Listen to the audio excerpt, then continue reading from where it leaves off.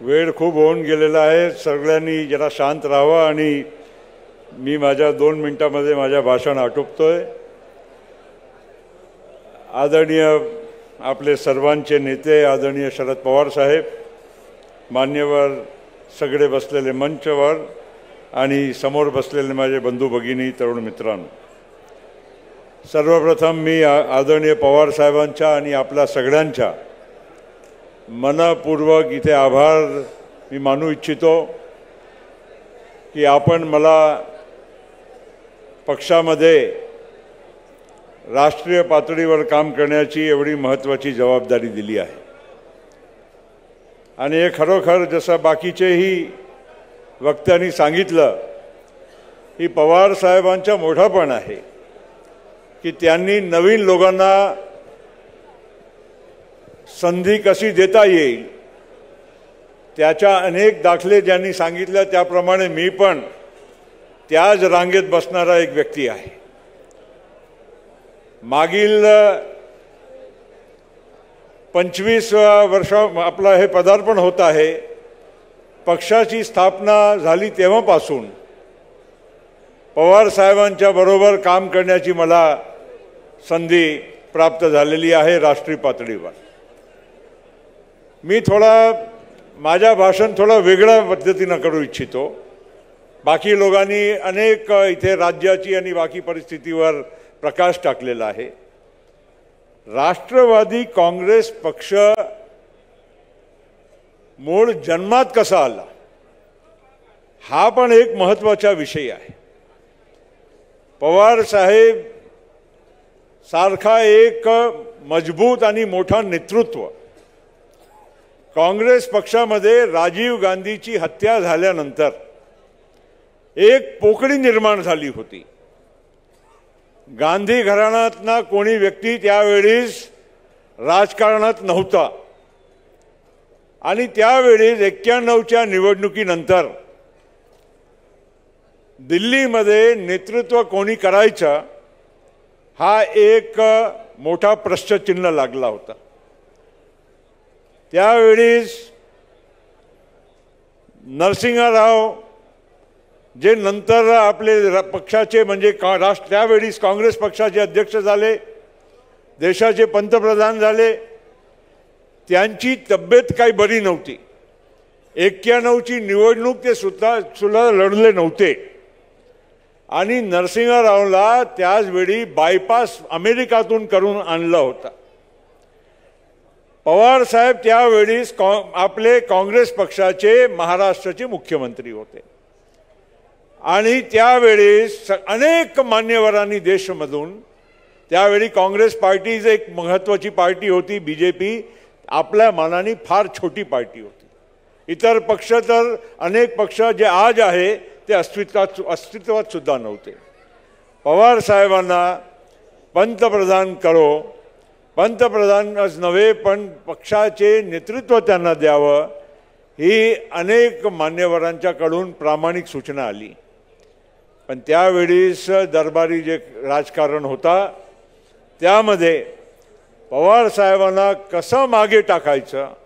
एक पॉवरफुल व्यक्ती जर आला आणि देशाच्या राजकारणामध्ये स्थापित झाला तो त्याचा परिणाम वेगळा होईल आणि अशा व्यक्तीला कधीही बदलता येणार नाही. काँग्रेस पक्षाची सत्ता कायमस्वरूपी राहील अशी एक धारणा जे लोकांच्या मनामध्ये होती त्यामुळे पवार साहेबांना कसंही करून त्या स्पर्धेतून बाजूला करण्याचा एक षडयंत्र रचला गेलं. त्याच्या मी आणि अजित पवार दादा आम्ही दोन्ही साक्ष होतो. आणि म्हणून मित्रांनो ते एक्क्याण्णवमध्ये झालं. तेच नंतर शहाण्णवमध्ये झालं. नरसिंहारावचा काळ संपला आणि त्यांना म्हणजे आम्ही पक्ष म्हणजे म्हणून काँग्रेस पक्ष जे सत्तेत होती हरलो. नरसिंहाराव अध्यक्ष होते. त्यावेळी सगळे जे बाकीचे पक्ष होते जे देशामध्ये त्यांनी सुचवलं की नरसिंहारावला बदललं आणि शरद पवार साहेबांना जर मुख्य प्रधानमंत्री आपला अध्यक्ष केलं तर आम्ही सगळे मिळून पवार साहेबांना साथ द्यायला इच्छुक आहोत. पण नरसिंहरावनी पण खेळ केला. पवारसाहेब सारखे माणूस त्यांना नको होते. म्हणून त्यांनी सीताराम केसरीसारखा एक कमजोर व्यक्तीला त्या पदावर बसवलं. आणि त्याचा परिणाम हे झालं की परत काँग्रेस पक्ष मागे गेला. शहाण्णवमध्ये मागे गेला. अठ्ठ्याण्णवमध्ये मागे गेला. आणि नंतर जेव्हा सोनिया गांधी दे आपल्या काँग्रेस पक्षाचे तेव्हाचे काँग्रेस पक्षाचे अध्यक्ष झाले तर ह्याच बाकीच्या दरबारी लोकांनी सगळ्यांनी परत षडयंत्र केलं आणि शरद पवार साहेबांना कसं म्हणजे मागे करायचं त्यांना म्हणजे दूर कसं करायचं एका बाजूला leader of opposition Pawar saheb Congress parliamentary पार्टीचे प्रमुख शवर पवार साहेब पण पवार साहेबांची चिठ्ठी म्हणजे जसं आज दादा विरोधी पक्ष नेता आहे त्यांच्या एक चिठ्ठीवर स्पीकरला कुठलाही नियुक्ती जर संसदेमध्ये करायची असेल ते करतात.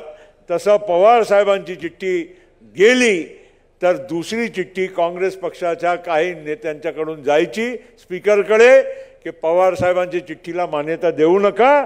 हे वेगळी जी चिठ्ठी आहे त्या चिठ्ठीला तुम्ही मान्यता द्या. अशा पद्धतीनं अनेक वेळा अनेक वेळा. पवार साहेबांना कसं ह्युमिलिएट करायचा? पवार साहेबांच्या कद कसं कमी करायचं? हे सतत म्हणजे मी अनेक वर्ष एक्क्याण्णवपासून नव्याण्णवपर्यंत मी पाहिलेलं आहे. Congress working committee. आता बघा पवार साहेब एका बाजूला काँग्रेस पक्षाचे पार्लमेंटचे म्हणजे लीडर आणि पार्लमेंटरी पार्टी पार्लमेंटरी बोर्ड म्हणजे वर्किंग कमिटी त्या वर्किंग कमिटीची निवडणूक व्हायची. त्या निवडणुकीमध्ये सगळ्यांनी हे ठरवून शरद पवार साहेबांना कसं पाळायचं हे म्हणजे सतत म्हणजे प्रयत्न चालला. आणि म्हणून कलकत्ताच्या अधिवेशनामध्ये पवार साहेब दहावा नंबरवर आले. दहावा नंबरवर दहा जी निवडणूक होती दहा नंबरवर आले. मी म्हणायचं तात्पर्य एवढंच होता की आज आपला वेगळा पक्ष आहे. पवार साहेब आपले नेते आहे. आपला स्वाभिमान आहे. पण एक खंत जरूर जे दादानी सांगितलं की एवढा मोठा मजबूत आणि देश पातळीवर सर्वमान्य नेतृत्व आपला असल्यानंतरही आपण या महाराष्ट्र आपला स्वबळावर कधी जिंकू शकलो नाही किंवा एक नंबरचा पक्ष आपण होऊ शकलो नाही ही आपल्या सगळ्यांच्यासाठी शोकांतिका आहे. आणि म्हणून आजच्या दिवशी मी काय जास्त काही दुसरा काही बोलणार नाही. पवार साहेबांना एक मी एक आणखीन एक प्रसंग सांगू इच्छितो. पवार साहेबांची सैद्धांतिक जे त्यांची बाजू आहे ते सांगण्यासाठी की नव्याण्णवमध्ये पक्ष आपला स्थापन झाल्यानंतर आपण पहिली निवडणूक या षण्मुखानंद हॉलपासून आपण सुरुवात केली. भुजबळ साहेबांनी अनेक मान्यवरांनी उल्लेख केला म्हणून परत परत ती विषय काढू नये. पण या त्या नव्याण्णवच्या निवडणुकीनंतर आपल्याला अठ्ठावन्न आमदार आपले निवडून आले होते. आपले त्यावेळेस टोटल भारतामध्ये नऊ खासदार सात महाराष्ट्रामधून आणि एक मणिपूर आणि एक मेघालयचे असे नऊ खासदार होते. त्यावेळेस एक प्रसंग असा आला की वाजपेयीजी पंतप्रधान होते. दोन हजार चार नव्याण्णवमध्ये परत ते त्यांची पार्टी निवडून आली होती आणि त्यांनी पवार साहेबांना बोलवलं आणि त्यांनी ऑफर केली पवार साहेबांना. की तुम्ही आमच्याबरोबर दिल्लीमध्ये एन डी एच्या सरकारमध्ये यावं. आणि महाराष्ट्रामध्ये तुम्ही बी जे पी शिवसेना आणि राष्ट्रवादी काँग्रेस पार्टी तीनही आपण एकत्र येऊ आणि आपण महाराष्ट्रामध्ये सरकार बनवू. पवार साहेबांना इतकी चांगली ऑफर इतकी आणि वाजपेयीसारखा माणूस म्हणजे आजच्या काळ आणि तेव्हाच्या काळ वाजपेयी म्हणजे देवपुरुषसारखं सगळं म्हणजे सगळे लोक त्यांना मानायचे. पवार साहेबांनी खूप विचार ऐकून घेतला विचार केला. गाडीत बसल्यानंतर मी होतो सोबत नंतर मला सांगितलं हे त्यांची ऑफर जरी चांगली असेल पण आपल्याला बी जे पीबरोबर जायचं नाही आहे जरी आपला काँग्रेसशी भांडण झालंही असेल पण आपण काँग्रेसबरोबरच जाऊन आपण महाराष्ट्रामध्ये सरकारमध्ये राहू पण दिल्लीच्या सरकारच्या बाहेर राहू हे अशा एक सैद्धांतिक निर्णय पवार साहेबांनी त्यावेळीस केला घेतला होता. म्हणून मी तुम्हाला फक्त हे जुनी काही गोष्ट होती त्याची आठवणी करून देतो आहो. फक्त एवढंच म्हणेल की पंचवीसव्या वर्षामध्ये आपला पदार्पण झालेला आहे. जर खरोखर जे अनेक वेळा जे पवार साहेबांना जे संधीपासून दूर राहावं लागलं त्या संधी आपल्याला परत एखादा वेळा मिळवायची असेल तर येणाऱ्या काळामध्ये दोन हजार चोवीसमध्ये या महाराष्ट्र आणि राष्ट्रवादीच्या प्रत्येक कार्यकर्त्यांनी कम्मल कसून जसं दादानी आता इथे आवाहन केलं काम केलं पाहिजे. आणि पवार साहेबांना त्या कुर्सीवर बसवण्याचा एक स्वप्न आपला जे आहे महाराष्ट्राचा आणि राष्ट्रवादीचा ते पूर्ण केलं पाहिजे. एवढंच बोलतो थांबतो. जय हिंद जय राष्ट्रवादी. देश विदेशातील प्रत्येक घडामोडींचे लाईव्ह अपडेट मिळवण्यासाठी आता साम टीव्हीच्या सर्व सोशल मीडिया प्लॅटफॉर्मला लाईक फॉलो आणि सबस्क्राईब करा. तसंच सर्व नोटिफिकेशनसाठी बेल आयकॉन प्रेस करायला विसरू नका.